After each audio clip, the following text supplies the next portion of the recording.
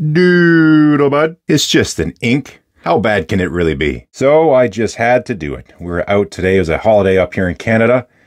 Took the kids to Granville Island, get some fish and chips and play around, and there happens to be a little stationery store there, and they carry Noodler's ink.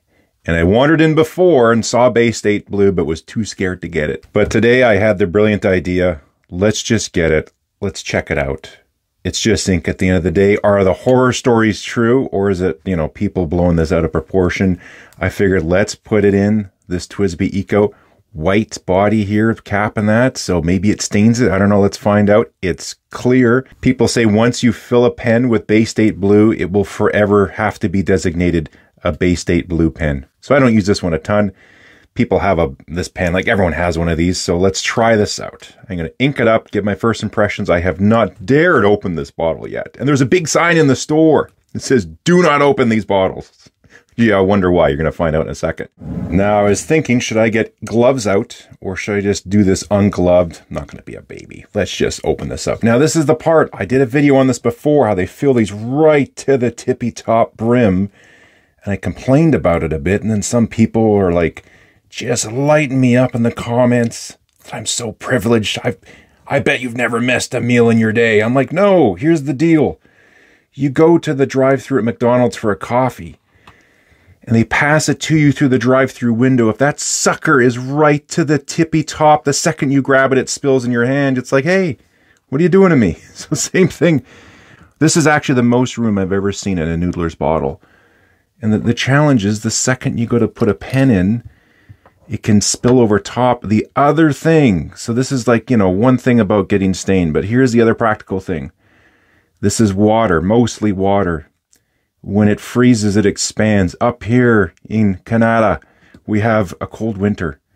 And if you don't have any room in this bottle, the sucker's going to shatter in the wintertime. So, like, that's the other part, too. Anyways, get angry at me if you will in the comments. But I'm just saying, other inks that uh, give you 60 mil or 90 mil or whatever the volume is, they do leave a little room. Is there enough? Oh, we got just enough. Okay. That's not so bad then on this one. We do have enough room. I've had others, the second you put the pen in, it spills. Okay. Well, that wasn't so bad. You know, no spillage. Okay. Happy so far. It's a nice looking color. That looks quite bright and saturated. Okay. There we go. That's uh, a little dab there, but that's not so bad. Put that back in the box for safekeeping. Okay, so far not so bad. Let's wipe this up. Okay. Huh. That sort of reminds me of uh, Sapphire Blue by Monteverde so far. All right. Let's get that little dot out of here and get to writing. That doesn't even seem so bad to take off. What are people freaking out about? Going to test a bunch of papers. First up is Rhodia. I think this is a writing sample I did for some of my favorite blue inks. So let's put it on here. I noticed Sargasso Sea isn't on here from Diamine. That's like one of my favorites, so I'll add that on here too. Now I think those swatches were done with the Q-tip, but whatever, let's just do that. Oh, that is a really nice color. Look at that. That's really nice.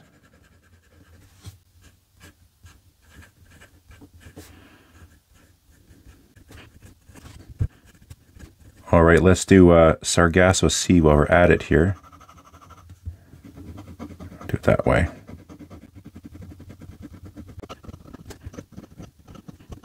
So far, on quick look here, it's the closest ink I have to Bay State Blue.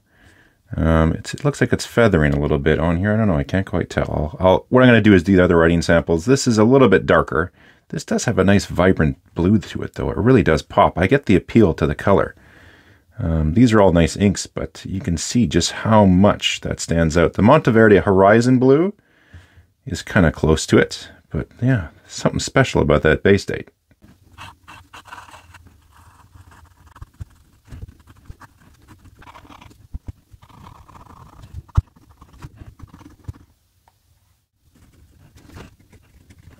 So first up is having a look here on the Rhodia paper. You can see if you get closer, the edges are off a little bit. Looks like we're getting just a little bit of like feathering on some of the letters. It's not quite a super clean. See on the end there, that line there has just got a little bit of featherness to it. You can see on the lines there too. So I'm guessing this is a very uh, low surface tension ink.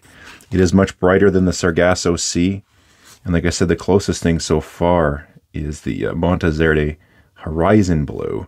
But this, yeah, it has a very nice kind of velvety, vibrant color to it. Let's check out, let's do some of this Muji paper. So this is some of my nicer Muji paper. I really enjoy working with this. And so you can see here the Diamine Sargasso Sea, even with uh, a flex nib, it's putting down a fair amount of ink on those. The edges are, are pretty clean, a little bit of, you know, feathering going on, just a hair.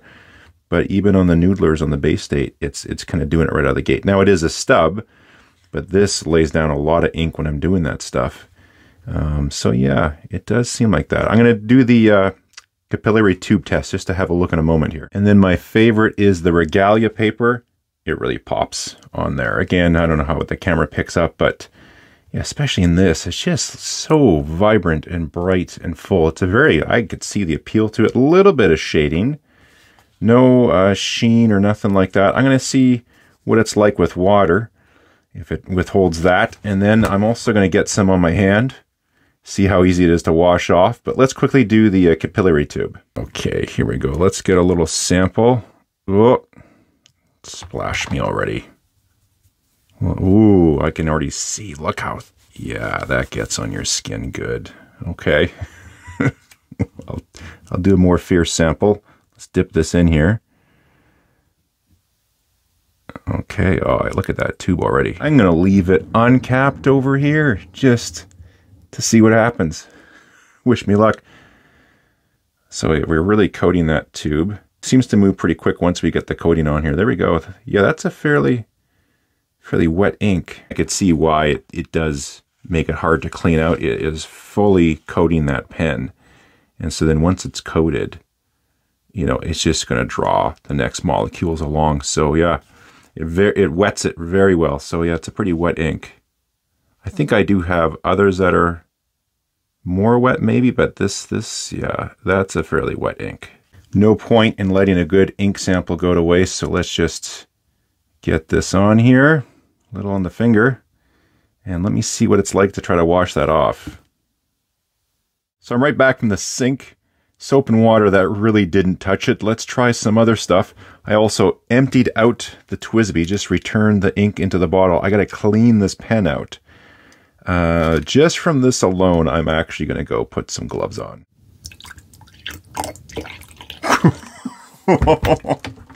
that was a pretty terrible pour. Oh, but look at this. That accident turned into a fantastic test. Look how that held up. I mean, this got completely soaked in my homegrown pen wash. And look, yeah. Oh my God. That is crazy, crazy permanent. I'm a little scared now. Now, I normally clean out pens in the sink, but the sink we have here downstairs where I do my work is a white sink. And uh, I don't want my wife to absolutely murder me. So I'm going to do it this method and we'll see we'll see how clean we get this. I'll try the ink, uh, sorry, the pen wash as well, seeing how it handled the paper. We shall see. But I mean, it's flushing out so far. Let's just keep at this and uh, see where we get to. I'm hoping you can see this here on the camera. It's tough to get it, but so this was the container that I just put the pen in and drew up fresh water. This is the one that I put the ink into but you can see already. So I just, this was mega diluted. And just because the ink, the water level was up here, there's a little bit of ink. You can see there's already a blue ring just in this container alone. So yeah, this ink does not mess around. You can see the feed. It's like in there really good. I flushed this more in the sink and it's just clear water. No pigment whatsoever or color coming into it. And you can see what it's already done here to the section. Mm-hmm. There we go, a piece of paper so you can get the full effect. It has been in there for however long this video has been going on for. That's it. And it's already done that. It's okay, but just look at the difference in the clarity before and after the piston. Wow. Let me try some pen wash. I mean, you can still see all the blue in there. It's not touching it. Let me throw this in the ultrasonic cleaner with it being full of pen wash. After a go in the ultrasonic bath for like five minutes, I don't know if there's much improvement. You can even see markings from the fins on the feed in this thing. So I got the uh, pen wash here, a Q-tip. Let's see if it needs a little scrubby-dubby.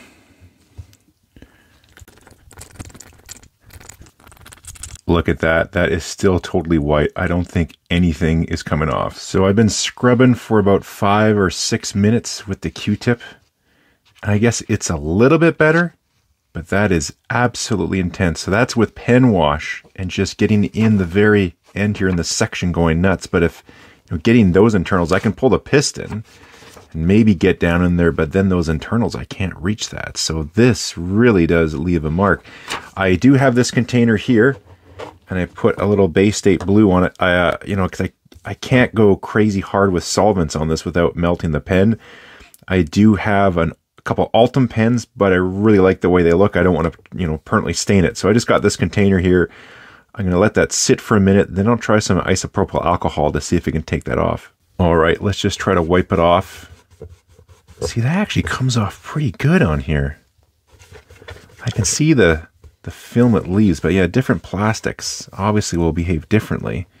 It, has got the blue hue. Let me put the paper. There we go. Now you can see it. So let's see if I can get rid of that blue hue with using some isopropyl alcohol.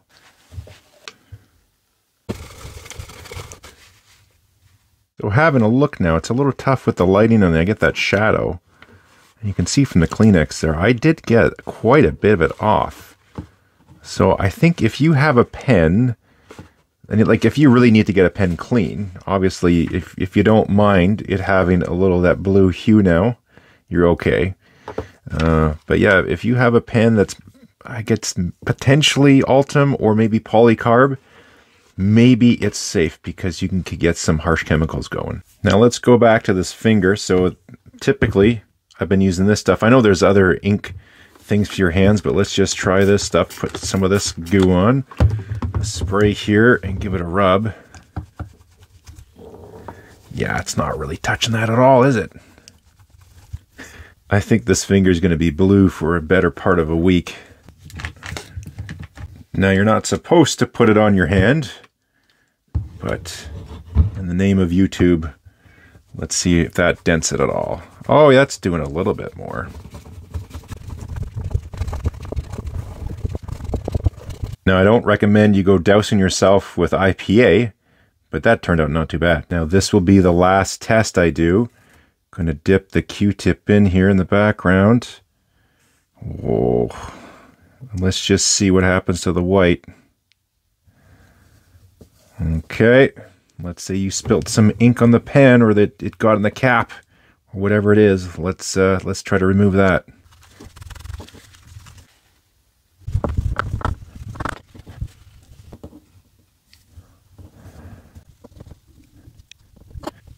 So that's about as good as I can get it. We still have some sort of in the corners, and it's not that I can't reach it. It's just that that portion got a little more ink on it, so it got more saturated. But even on the dot there, it's not fully out. There we go. So that gets it out. So IPA is the ticket. Of course, the challenge with that is you can't go putting this on all your pens. It will melt some of them, or it could cause cracking over time, or, or just really damage it. If there's a finish on it, it could melt it too. So I did it really quick just to see. I don't think there'll be any long-term damage just to that little bit I put on the cap, but you definitely don't want to soak a pen in it. So overall, is it worth it? Like it, this definitely will be staining pens. I, I completely agree with, with the claims people make now with that. The color is, I mean, this pops. It's just like this electric color. Very, very attractive. That's on the regalia. Here it is on the Rhodia.